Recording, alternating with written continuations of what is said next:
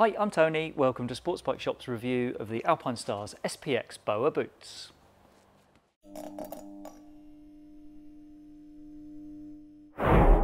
I've got a confession to make. I'm a bit of a fusspot when it comes to bike boots. I don't feel comfortable riding in the short trainer style boots that have become common recently, but I still prefer to wear my trousers over the top of my boots. That's not always easy, but with these Alpinestars SPX Boas, I've found some boots that are close to perfection for me. Alpinestars describe these as mid-length boots because they don't come up as high as full sports boots like their Supertech R or their SMX Plus, but they're tall enough for me for road riding and the slim fitting section around the shin still leaves plenty of room to get my trousers over the top. That top section fastens with Velcro, but the main work is done by the BOA system. If you've not seen these, pushing the wheel in and rotating it towards the toes tensions a plastic cord and that tightens the boot around the foot and the ankle. It's a brilliant system that gives proper control over how tight or relaxed you want the fit to be.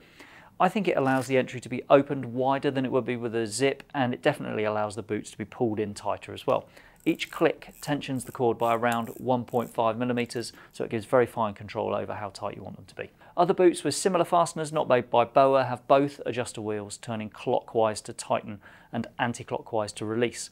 These BOAs have a clockwise tensioner on the right boot and an anti-clockwise tensioner on the left, which means you turn them both in the same direction when you're looking down at the boot. That's a simple thing, but it just makes life a little bit easier. When you want to take the boots off again, pulling the wheel outwards frees the tension and then you can open the boots up to remove them. The outer for these boots is made from three main materials. There's synthetic leather, which you see down the sides, around the toes, and also for the shin wrap. The front section here is made from Lycra. That's been overlaid as well with TPU material and it gives good flexibility. And then the section covering the calf is made from Alpinestar's own ride knit material, which is a hard wearing but very flexible knitted textile. That upper is reinforced in the usual areas. You get plastic cups around the toes, the heels, gear change protector as well, and also there are toe sliders. Those sliders aren't replaceable. Some might have an issue with that, but I can't remember ever wearing through a toe slider on the road, so it doesn't worry me personally. There's no CE rated impact protection on the boots. There would be a marker on the CE label inside if that was the case. The shin wrap is a bit stiffer than straight synthetic leather, and there are small inserts either side of the ankle as well. The sole on these boots has got a good solid feel, it gives good feedback through the pegs of the bike and it's also very comfortable for walking around. It's quite a sporty sole rather than one that's chunky treaded for grip on loose surfaces. Now going inside the boot, first thing we see is the CE label that details the protection level. The first category is for height. These are tall enough to be rated at the higher level 2 in that regard. Next is abrasion resistance and that's another level 2 pass for these boots on that score. There's another level 2 pass for resistance to cuts from sharp edges as well. The basic level one pass at the end, that's for transverse rigidity. This measures the ability for a boot to resist the sort of forces you'd get if your foot was trapped under the weight of a bike like this.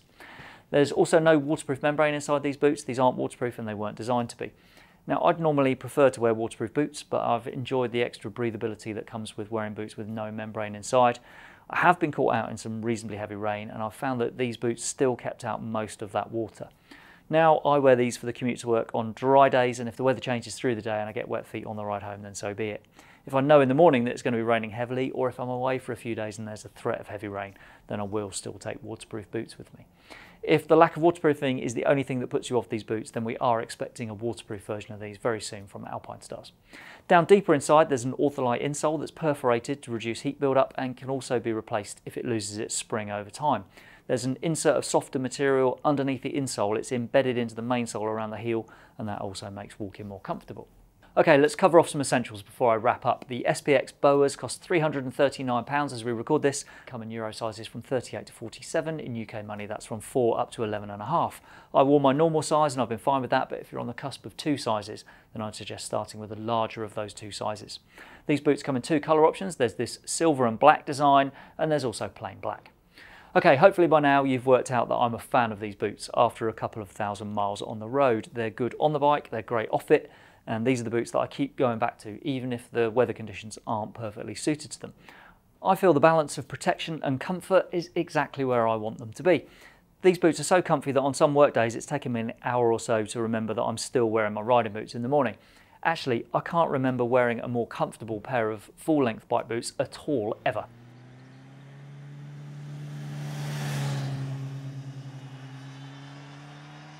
I hope that tells you everything you wanted to know about the Alpinestars SPX BOA boots, but if there's anything you'd like to ask or to add, then please pop a comment below.